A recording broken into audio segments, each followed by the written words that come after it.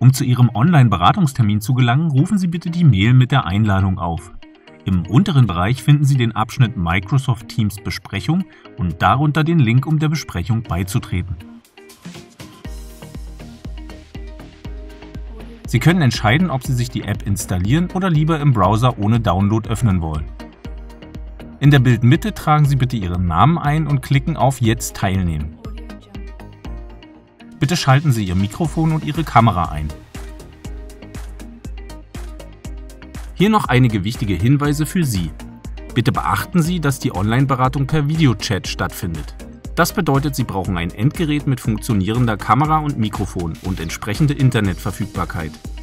Bei der Nutzung von macOS ist zu beachten, dass der Safari-Browser nicht funktioniert. Bitte wählen Sie deshalb einen anderen Browser aus. Wir freuen uns darauf, Sie bei Ihrem Online-Beratungstermin begrüßen zu dürfen.